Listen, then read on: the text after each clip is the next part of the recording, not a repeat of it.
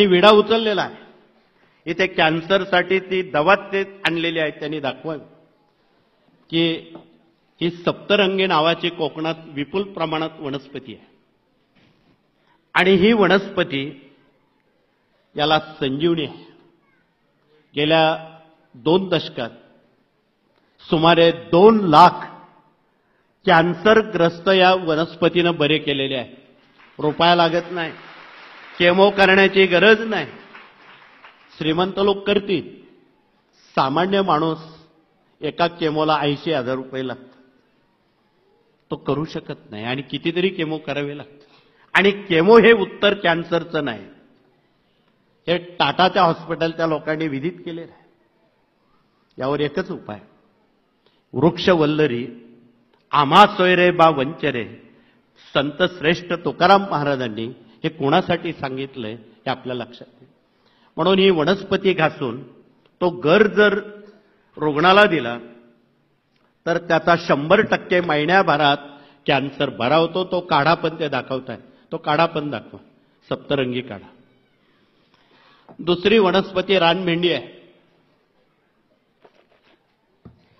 ती मधात घासून रुग्णाला दिली घशाचा जिभेचा आणि रक्ताचा कॅन्सर बरा होतो. त्याला रुपाय लागत नाही. तिसरी वनस्पती वेखंड आहे. हे वेखंड जर आपण गोमूत्रात घासून गरम करून तो गर पोटात घेतला तर पोटातल्या गाठी नाहीशा होतात.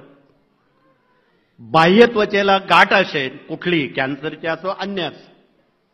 तीन आठवड्यात बरं करण्याची क्षमता या छोट्या वनस्पतीची आहे. म्हणून याचा ओळख परिचय असणं हे सर्वांना हिताचं आहे. म्हणून हे डॉक्टर लोकांकडे हे सोपवलेलं शेवटचा आणि चौथा इलाज खूपच सोपा आहे.